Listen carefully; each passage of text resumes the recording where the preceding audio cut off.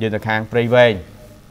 ព្រៃវែងនៅនោះវិញក៏មានរងផលប៉ះពាល់ដោយសារចំនួនទឹកភ្លៀងអឺ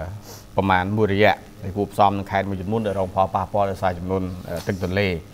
បាទព្រៃវែងនេះក៏រងផលប៉ះពាល់ដែរបាទគ្រោះទឹកចំនួនបានកំពុងតែលិចលង់ស្រុកចំនួន5នៅខាងខេត្តព្រៃវែងបាទក្នុងចំណោមស្រុកទាំង13រួមមានស្រុកស៊ីធរកណ្ដាលស្រុកពីរាំងស្រុកពោរៀងបាទស្រុកពីមរស្រុកស្វាយអន្តោ បាទហើយក្នុងនោះគឺមានបាទអ្វីដែលគាត់សម្គាល់គឺស្រុក5នៅក្នុងខេត្តព្រៃវែងគឺរងផលប៉ះពាល់គឺមាន5ឃុំមានភូមិដល់ទៅ211ភូមិបាទបើតាមលោកដូចគន្ធាអភិបាលរងខេត្តព្រៃវែងបានឲ្យដឹងតាមទូរស័ព្ទផងដែរថាកម្ពស់ទឹកចំនួនឆ្នាំនេះបើគិតត្រឹមថ្ងៃ15កញ្ញាបើប្រៀបធៀបទៅនឹងពេលដូចគ្នាឆ្នាំទៅ គឺនៅទៀបជាងឆ្នាំទៅនៅឡើយទេ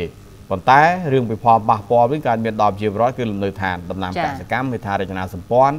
ហើយអាជ្ញាធរក៏បានកំពុងយកចិត្តទុកដាក់ដែរក្នុងការចុះអន្តរាគមន៍ជួយជាប្រវត្តិហើយក៏បានត្រៀមបាទទីទួលសុវត្ថិភាពប្រមាណជាង500កន្លែងដែរសម្រាប់បងប្អូនដែលលេចលង់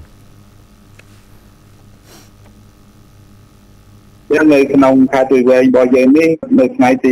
15ខែកញ្ញាឆ្នាំ2019នេះយើងមានកម្ពស់ទឹក6.70ម៉ែត្រ ពោះជាងមួយចន្ទមាញ់0.16ម៉ែត្របើប្រៀបធៀបទៅនឹងឆ្នាំ2018ប្រៀបជាង0.06ម៉ែត្រណែលេខចំនួន5ក្នុងស្រុកបាទក្នុងនោះមានភូមិ211ភូមិហើយផលប៉ះពាល់គេថារចនាសម្ព័ន្ធដូចជាក្នុងផ្ទះហើយបើគិតជាគ្រួសាររងគ្រោះដោយទឹកជំនន់នេះមាន4806គ្រួសារហើយគ្រួសារជំនះចេញមាន24គ្រួសារហើយគ្រួសារដែលមាន ជំងឺចំនួន5គ្រួសារហើយគ្រួសារខ្វះស្បៀងចំនួន455គ្រួសារផលប៉ះពាល់ត្រូវដល់គ្រួសារដែលទឹកជំនន់នេះយើងមាន3753ហិកតាប៉ះពាល់ដោយខូចផ្លូវផ្លូវកស៊ូផ្លូវលំផលប៉ះពាល់សាលារៀនមណ្ឌលសុខភាពនៅមួយកន្លែងហើយដងទឹកបង្គាន់អនាម័យហើយមួយទៀតខូចខាតទំនប់និងត្រឡាយទាំងត្រង់នេះមាន300ម៉ែត្រ យើងបានត្រៀមទូសុខភាពជាច្រើនកន្លែងទៅតាមក្រុមសុខដែលមានព្រោះថាក្នុងទូខាងខេត្តព្រៃវែងនេះយើងមានជាង500ទូសុខភាពអញ្ចឹងណា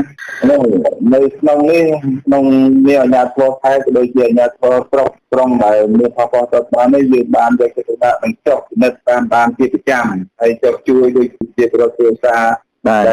យើងជំនះចេញពីទីតាំងនេះទៅមានចំនួន24គ្រួសារអញ្ចឹងណាបាទ បាទហើយគ្រួសារដែលខ្វះខាតនេះគឺយើងបានចុះចែកជាបដាបដាហើយដូចជាប្រសិលមិញនេះឯកឧត្តមជាប្រពន្ធសាខេត្តបានចុះចែកនៅស្រុកកដាលហើយថ្ងៃនេះទៅចែកនៅស្រុកគ្រីដែរក្នុងនោះគឺលោកអភិបាលរងខេត្តបាទដូចគន្ធាបានបន្តថាគ្រោះទឹកចំនួននៅខេត្តព្រៃវែងពេលនេះគឺកំពុងប៉ះពាល់ដល់ជាប្រវត្តិប្រមាណ4806គ្រួសារដែលក្នុងនោះគឺគ្រួសារខ្វះខាតស្បៀងចំនួន455គ្រួសារ គ្រួសារចម្លៀសចេញមាន24គ្រួសារនិង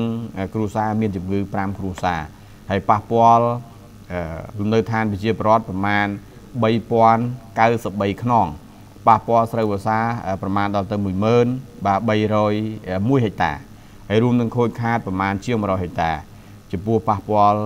មានផ្លូវគមនាគមន៍បាទក៏មានផលប៉ះពាល់ដែរសាលារៀនក៏មានផលប៉ះពាល់សាលារៀន29កន្លែងហើយដងទឹក របស់បងប្អូនជាប្រវត្តិបនលិចអស់ហើយដងទឹកក៏ប៉ះពាល់ដែរបាទវាទៅជាទឹកធម្មតាទាំងអស់ទឹកបឹងទឹកទន្លេទាំងអស់ចា៎បាទអញ្ចឹងហើយប៉ះពាល់តែទឹកលិចហើយមិនតែតែដងទេប្រគុណអនាម័យជាប្រវត្តិក៏ប៉ះពាល់ព្រោះធ្វើងដីទៅទឹកលិចផុតដីមកដល់ផ្ទះហើយប៉ះពាល់ហើយអញ្ចឹងពាក់ព័ន្ធបញ្ហាទឹកស្អាតក៏ខ្វះហើយរឿងកន្លែងអនាម័យក៏ខ្វះដូច្នេះអាជ្ញាធរខេត្តព្រៃវែងដែលអាដាមអភិបាលខេត្ត បាទក៏លោកបានចុះពិនិត្យមើលស្ថានភាពទឹកទន្លេដែលកំពុងកើនឡើងដែរហើយក៏បានណែនាំឲ្យប្រជាពលរដ្ឋបង្កើនការប្រុងប្រយ័ត្នហើយរួមនឹងបានជំរុញឲ្យបងប្អូនឲ្យជាពិសេសគឺអាជ្ញាធរមូលដ្ឋានបង្កើនការប្រុងប្រយ័ត្នបាទក្នុងការត្រៀមលក្ខណៈដើម្បីសង្គ្រោះប្រជាពលរដ្ឋនិងស្វែងរកទីទួលសុវត្ថិភាពជូនដល់ប្រជាពលរដ្ឋដើម្បីធានានៅសុវត្ថិភាពបាទអញ្ចឹងព្រៃវែងក៏រងផលប៉ះពាល់ដែរមួយរយៈនេះយើងបានបង្ហាញ ឥឡូវនេះចំនួនទឹកទន្លេបានមកកផលប៉ះពាល់ទាំងលំនៅឋានហេដ្ឋារចនាសម្ព័ន្ធបាទផលកសិកម្មហើយរួមនឹងផលដំណាំរបស់បងប្អូនផ្សេងៗជាច្រើនទៀតបាទមានតាំងពីដងក៏ប៉ះពាល់មានមង្គលក៏ប៉ះពាល់បាទដោយសារទឹកលិចបាទឥឡូវក៏បានត្រៀមទីទួលសុវត្ថិភាពប្រមាណ500កន្លែងសម្រាប់បងប្អូនដែលលេងដងចា